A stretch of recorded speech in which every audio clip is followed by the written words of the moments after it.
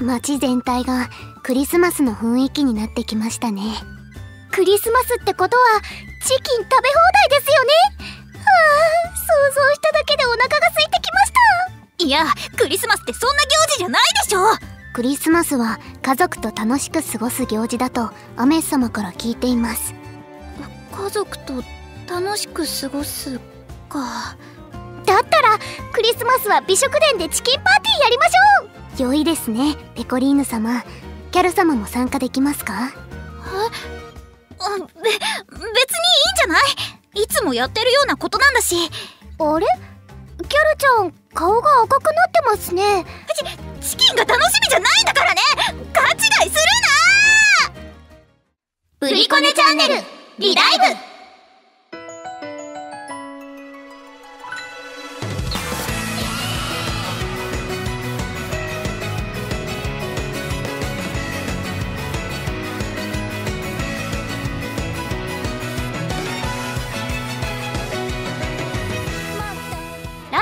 の皆さんおいっすペコリーヌ役マオです。ラジオをお聞きの主様おいっすコッコレ役伊藤美久です。ラジオをお聞きの皆さんぶっこおいっすキャラ役立花理香です。今回のオープニングのあれコント台本はプリコネームムッキーさんの投稿でした。ありがとうございます。なんかちょっとほっこりする感じのねちょっといい話だな、話でしたね。久しぶりにコントじゃないコントだった、確かに。いい話コントでしたね。ねよかった。えー、さてさて今回のオープニングプリンセストークの話題はこちら、えー、プリコネーム坂の上のたまるまるさんからいただきました。ありがとうございますパーソナリティの皆様おいっす。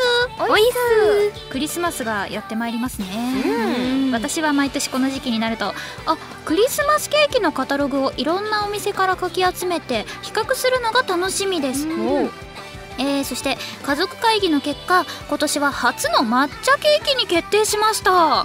皆様はクリスマスに何ケーキを食べますか？またはクリスマスケーキの思い出などありますか？と、はい、いうことですけれども。ケーキやっぱ食べたくなるわねこのクリスマスの時期になると。そうですね。ケーキとチキンは。うん。うちさあー抹茶も美味しそうだわ。美味しそう。確かになんか抹茶ケーキでツリーの形とかにしてとかフォトジェニックなケーキとか今ありますもんね。うちあれなんだよな。3姉妹なんですけどそれぞれ好きなケーキの種類が違うから、あのホール、丸いケーキを買えなくて。あ兄弟あるあるですねそうそうそうそう。だからそれぞれ好きなこうフルーツ乗ってるやつとかチョコケーキとかあの1ピースそれぞれ好きなものを選んで買ってましたね。お一つにまとまらないんですよ。立花家。いやでもありますあります。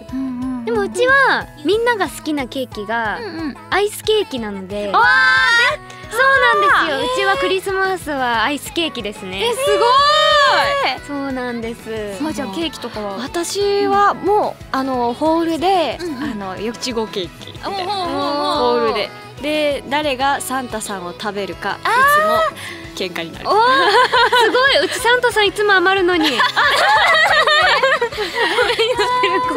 ってるサンタさん。で結果半分こになっちゃう情報あの、はい、皆までは言わないけど。結果半分こになっちゃうんですでもあのクリスマスケーキっていうわけじゃないですけどプリコネのキャラクターさんのついたケーキが、はいありますよのバースねデー付近かな、にそれぞれのキャラクターさんのが発売されてて、はい。あれねいいな。いいですよね。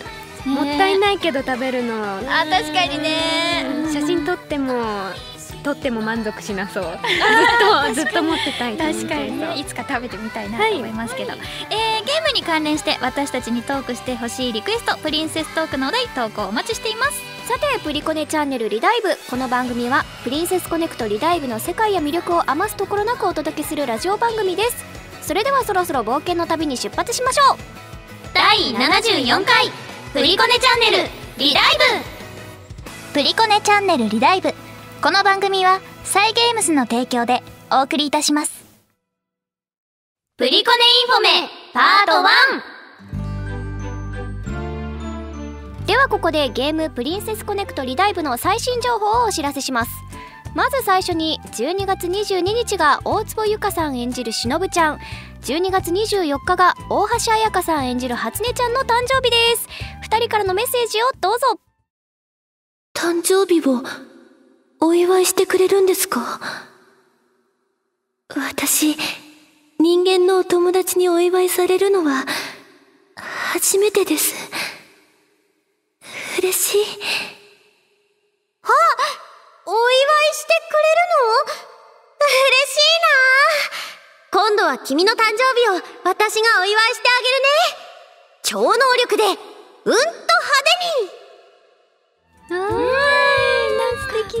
ですね。二人とも良さが出る。可愛かった。めでたい。ではでは改めましてしのぶちゃん初音ちゃんおめでとうございます。おめでとうございます。そして現在星3確定プラチナガチャが開催中。星3キャラを1キャラ以上確定で仲間にすることができる特別な10連ガチャです。こちらのガチャは12月25日までの期間限定開催です。期間中に優勝ジュエルで一度だけ購入することができます。お見逃しなくまた星3確定プラチナガチャは本開催期間終了後に再度開催する場合がございます。対象キャラクターや期間などの詳細はゲーム内のお知らせをご確認ください。はい。そしてピックアップガチャのお知らせです。芹沢優さん演じるあやねちゃんのクリスマスバージョンが現在ピックアップガチャに登場中です。はい。期間中ピックアップガチャにおいてあやねちゃんのクリスマスバージョンの提供割合がアップします。ピックアップ期間中のみ排出される期間限定キャラとなっておりますのでご注意ください。またこちらのキャラは今後再登場する場合がございます。ここで芹沢優さんからコメントをいただいております。どうぞ。サンタさんプレゼントはあやねの分とプー吉の分。2つちょうだいね。プリコネチャンネルリダイブをお聞きの皆さん、おいっす。あやね役、芹沢優です。どうもはい、なんと今回ですね、あやねのクリスマスバージョンの実装が決定しました。ありがとうございます。あの、割とあやねちゃんはちょっとこう、ツンデレだったり、甘えん坊さんだったり、強がっていたり、すごくね、あのまあちょっと年齢にしては幼いイメージのキャラクターの女の子なんですけれども、そんなあやねちゃんのですね、今回はちょっと、より内面的な部分だったり、弱い部分だったりとかがすごく出た、なんかあやねちゃんをすごく人間っぽいなというか、すごく一人の女の子として、ぐっと魅力が引き出されて、こうみんなもこれはあやね好きになるなという感じのストーリーになっておりました。というわけで、ぜひよろしくお願いします。あやね役、芹沢優でした。バイバーイ。はいということで以上プリコネインフォメパート1でした。この後もゲームの最新情報をお伝えしますよ。お楽しみに。すずなちゃんのジングル。メリクリねえねえサンタコスでクリパとかどうかな？あもち二人だけでね。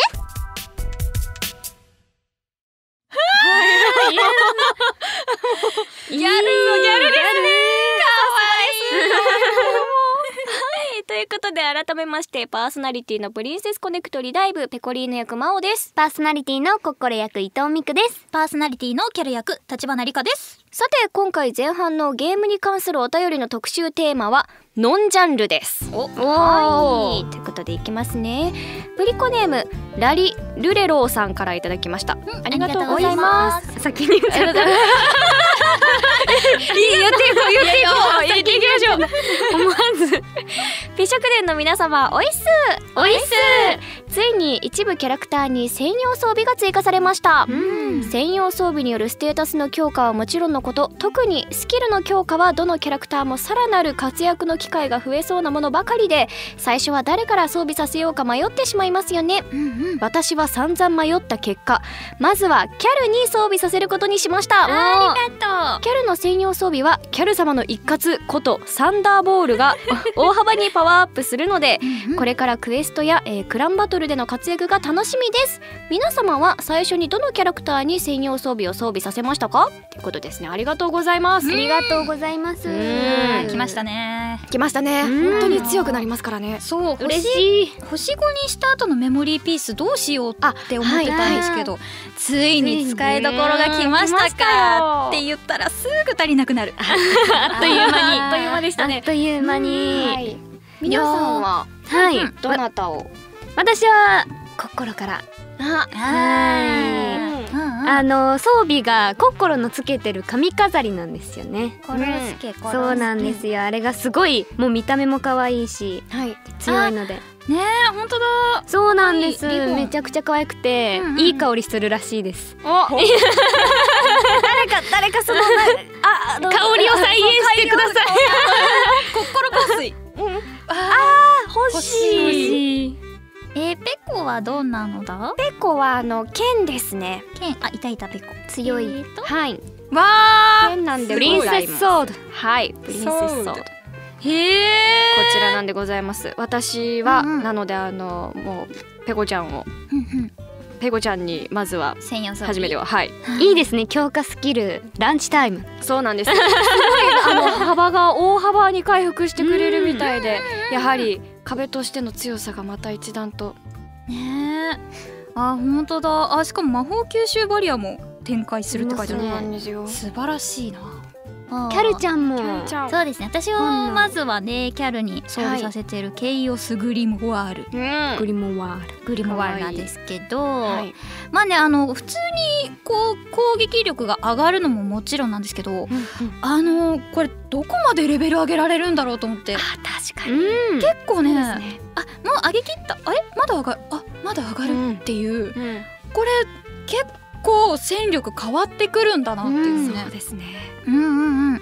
こうなんか私のところのプリンセス内戦力ランキングでもだいぶ動きがあります、おおー。おうんうんうんうんうん。ぜひ皆さんのおすすめとかも教えていただきたいですね。そうですね。ね確かにまだねこれから追加される、はい。えー専用装備とかもねあると思うんで。あーのぞみちゃんのね専用装備がね、うんめっちゃ可愛い。マイクだああそうですよね。リボンついたマイクだ、え可愛いな。えー、もう足りんのじゃ。そうなんじいろいろと足りないんじゃ。頑張ります。頑張るぞ。はい。聞い。てください。はい。それじゃあ続きましてプリコネームかつらぎさんです。ありがとうございますありがとうございますまおさん伊藤さん立花さんおいっす。おいっす。クリスマスイベント忘却のキャロルのストーリーすべて見ました。うん。チカ、くるみ、あやねたちのイベントと思いきや、僕の一番大好きな推しキャラのぞみがイベントに登場していて大変驚きました。うん。予告時点ではいなかったので唐突な登場に心臓が飛び出そうな気持ちでした。ストーリーを見てのぞみの目指しているアイドル像や強引にチカをカルミナに誘ったのを実は気にしていたこと、そしてのぞみママ奮闘などいろいろな一面や素直な気持ちがたくさん伝わってきてかっこ尊いこの物語尊いと幸せな気持ちになりました。うん。すごいラブレターが、いやーほんとよかった。この、はい感動しなんかさちかちゃんの、うん。あのママママって甘えてくる感じ、おーおーそういう あーってなりましたね。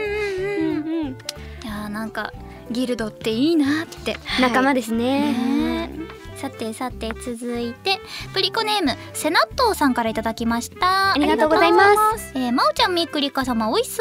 おいっす。えー、11月28日に発売されたプリコネキャラクターソング06購入しました。ありがとうございます。えー、私はナイトメアが大好きなのでお目当てのアルーフネスコードを家に帰って歌詞カードを見ながら聞くと歌詞がナイトメアらしくそれをフルで聴ける感動で涙が止まりませんでした そしてボイスドラマでもナイトメア大活躍、泣きながら大笑いしました。もちろんメルクリウス財団のキンキラハピネスも最高でしたと。いただきました、うーん。ありがとうございます。本当にかっこいいですよね。まあ歌もそうだけどボイスドラマってね、なんかやっぱいいですね、そこでしか聞けないっていうのがやっぱり貴重ですよねうんうん。いっぱい聞いてくださいね。では続きましてプリコネームおかぶさんからいただきました。ありがとうございます。美食殿の皆さんおいっす。おいっす。200万ダウンロードおめでとうございます。ありがとうございます。ありがとうございます。自分は3月からプレイしているのですが、うん。未だにプリコネを布教できたリア友は一人だけです。なんだと。こんなに心ママが尽くしてくれてキャルちゃんはツンデレで可愛くて ペコリーノはたくさん食べてくれているのに。よく食べる。はい。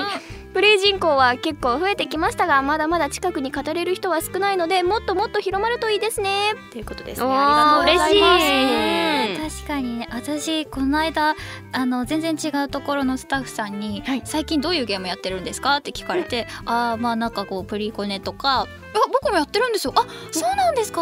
推しは誰ですか？あえっとまあいろいろいるんですけど、まあ、キャルかな？あそうなんですね。あへえ」って全然こう私がやってるってことを全く気づかれておらず、えー、わ私だよって言いたいけど恥ずかしいから、普通にこう岸くん同士の会話で終わる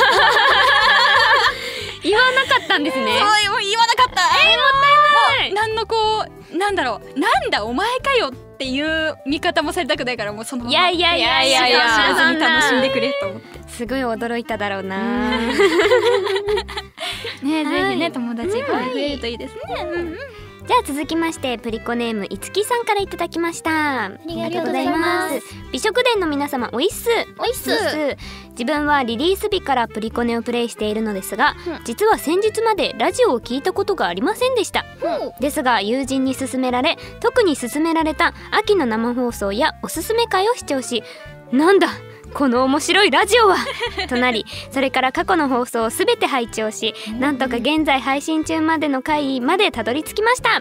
今では毎週木曜日が楽しみで仕方ありません。これからも素敵なラジオをお聞かせください。それではということで。わ嬉しいね。ありがとうございます。ありがとうございます。嬉しい。そっかやっぱ勧められてこうやって聞いてくれる方とかもいるわけだから、ね岡部さんももしかして勧めてもらったそうですね。らねこうやっていつきさんみたいに聞いてくれる友達が増えるかもしれない。増えるかもしれない、ぜひたくさんの人に勧めてみてください、ありがとう。ありがとう。ございます。はい。ということで以上今回の番組前半は「ふつおた」をお届けしました。最近よく届いているメールテーマはストーリーイベントバトルクランバトルバトルアリーナクランギルドハウス私たちへの質問グッズの希望失敗談です、えー、プリンセスコネクトリダイブをプレイした感想投稿お待ちしております。はい番組後半はあんなコーナーやこんなコーナーもやっちゃいますよ。最後までお聞き逃しなく。美咲様のジングル。やっぱりクリスマスは豪華ディナーにブランド物の贈り物よ。え？予算がない？仕方ないわね。それならふふ二人きりで過ごすっていうので手を打ってあげる。も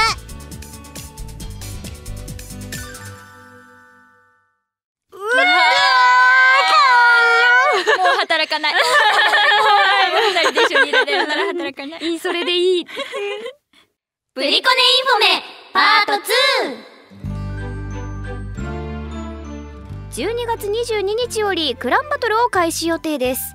今回のクランバトルでは邪悪な魔術で混沌を巻き起こすヤギ座の魔聖獣アルゲティが登場します。うん。そして今回の報酬でメモリーピースがもらえるキャラクターはスズメちゃんです。ランキング上位目指して自慢のパーティーでモンスターに挑みましょう。はいまた通常月末まで開催されているクランバトルですが今月は9日間開催となり最終日は12月30日月曜日となっておりますのでご注意ください、詳細はゲーム内のお知らせをご確認ください。続いてキャンペーン情報。ハードクエストドロップ量2倍キャンペーンを12月24日から開催予定メインクエストハードクリア時に獲得できる装備アイテムやマナなどの獲得量が通常の2倍になります、以上プリコネインフォメパート2でした。ではここで1曲お聴きください。サイゲフェス2018会場で販売された CD「プリンセスコネクトリダイブ」プリコネエクストラサウンド01よりロストプリンセスペコリーヌソロバージョンです。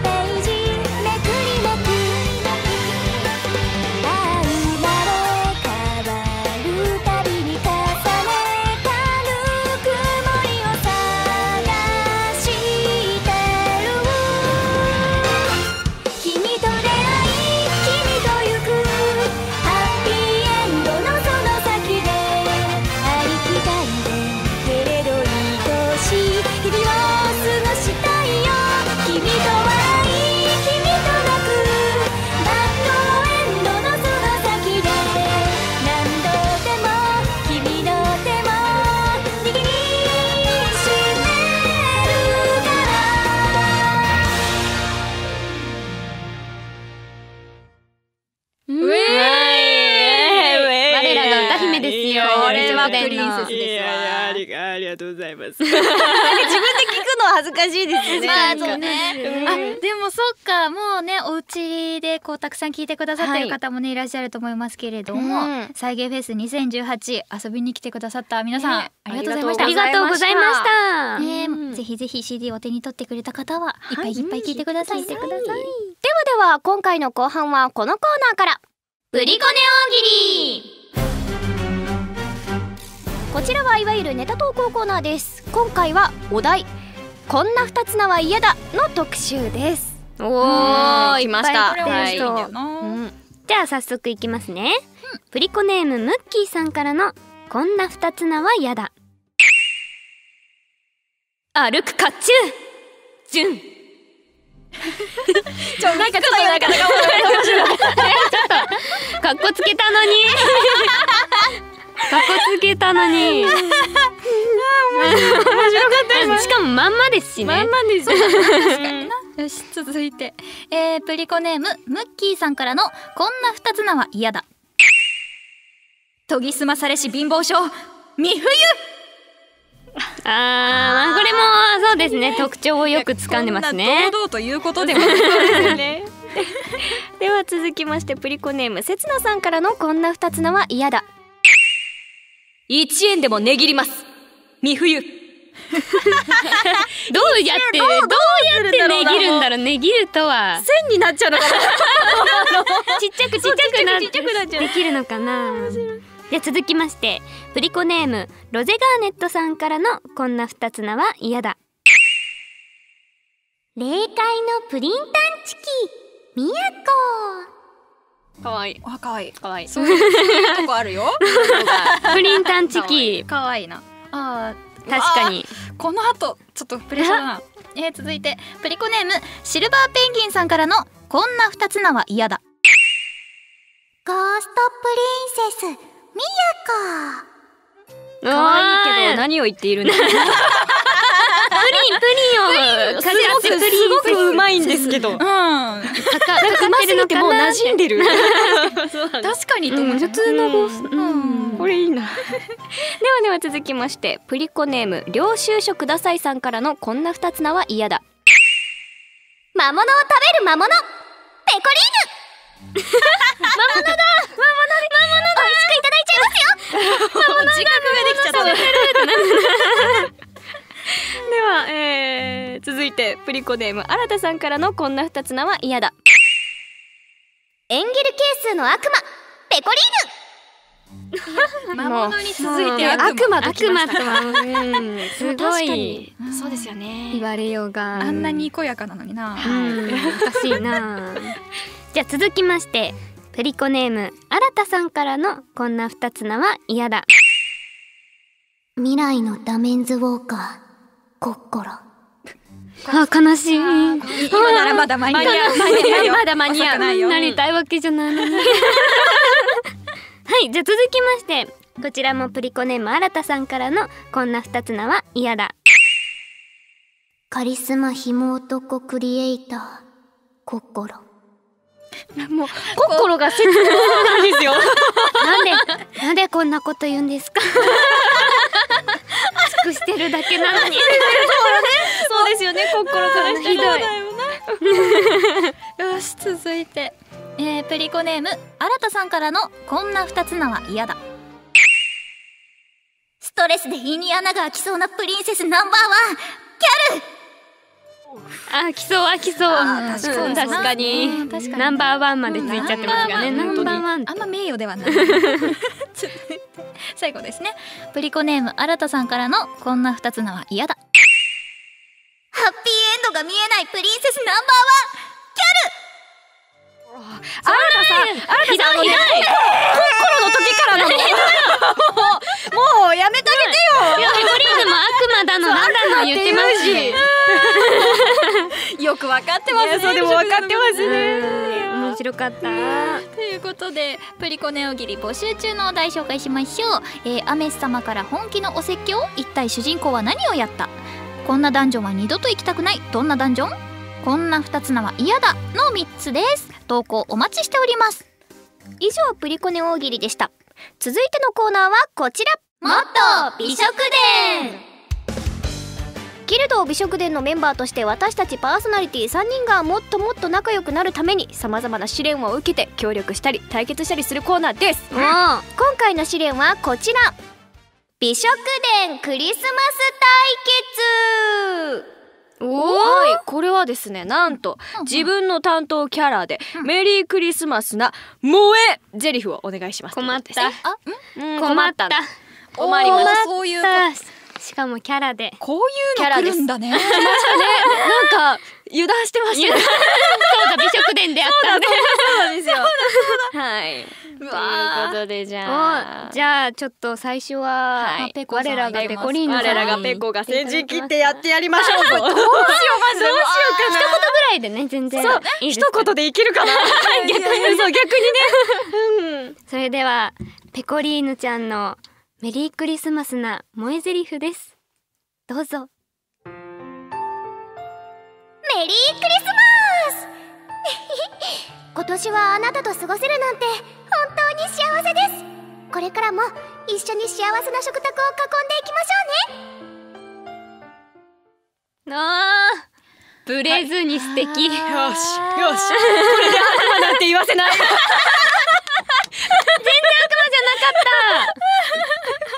よしよしよし。いやよかったよかった、はい。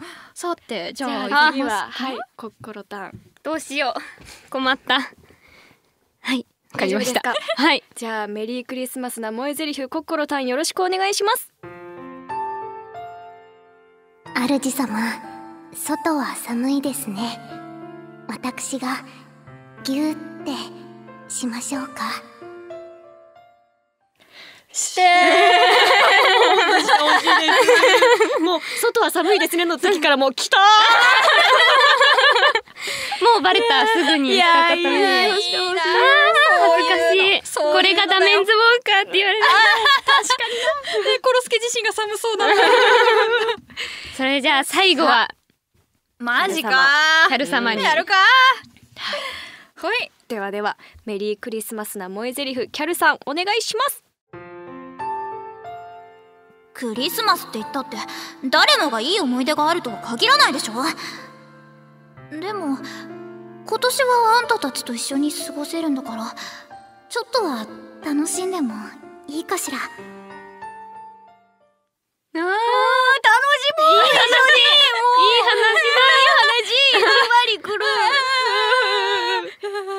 いっぱいチキン食べようね。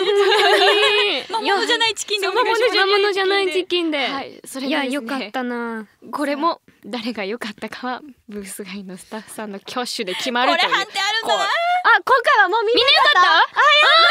つもの美食伝と思えない。優しい世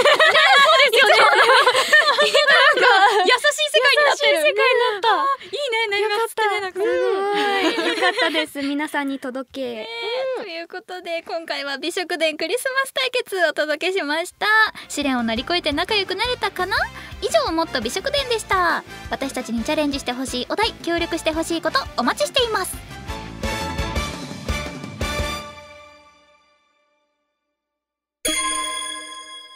イオのジングル。イルミネーションが綺麗ね。こうして2人でクリスマスに夜景を見るの憧れてたんだ。君のおかげで夢が叶っちゃった。あのなんででしょうねこうやっぱ大人な 雰囲気がするしニヤニヤついつい最近イオ先生をお迎えしたからすごい幸せになってその楽しみ方いいですね。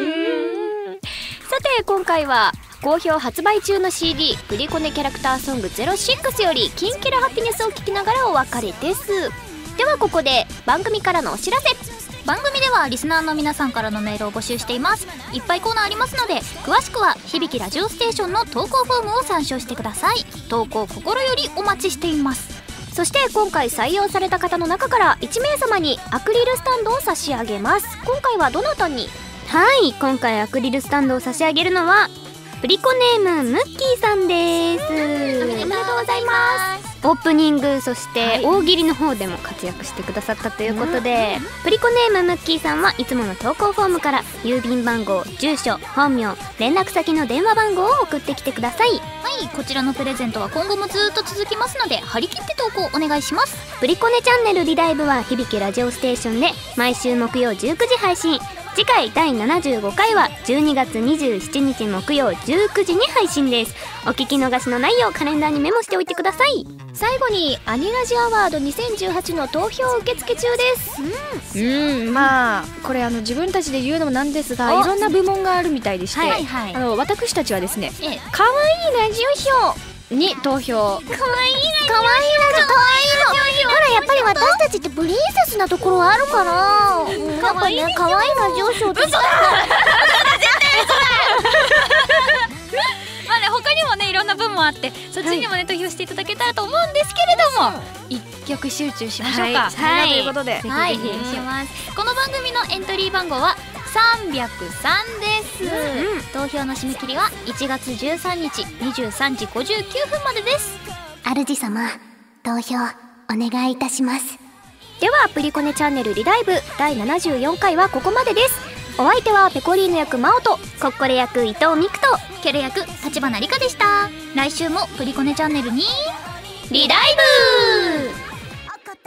ブ。プリコネチャンネルリライブ。この番組はサイゲームスの提供でお送りいたしました。はい。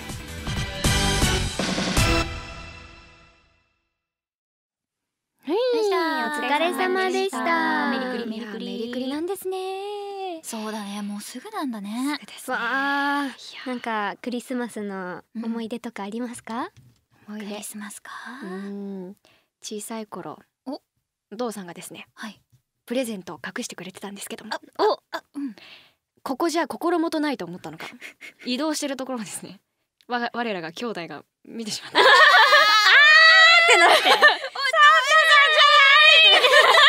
そうなんです。そんなことがね多分しかも一番疑い出す小学校3年か2年ぐらいの時だったんでやっちゃいましたね。やっちゃ。ったそうなんです。いやちゃんと隠しておしてほしかったありますか？なんか。私未だに思ってるんですけど、はい。見たんですよサンタさん。おえ。自分で言って自分で笑うじゃないですか。こんなに乗ったのにもう。いやもうほんとちっちゃい時私がさえ？私が三回え三か四歳ぐらい、はい。で妹と二人でこうなんかこう夜中にちょっと起きてこうジュースを飲むっていう遊びが流行ってた時があって、はいまあ、夜中って言っても多分11時とかそんなもんだけど、でこうジュースをいいつものように飲んでたらシャンシャンって聞こえてあれ？これはもしかしてと思って窓ペッて見上げたらこうトナカイさんがソリを引いて走っているサンタクロースさんの影をそんなわけねえだろみたいなさ コンニさんがさ 腕がコンって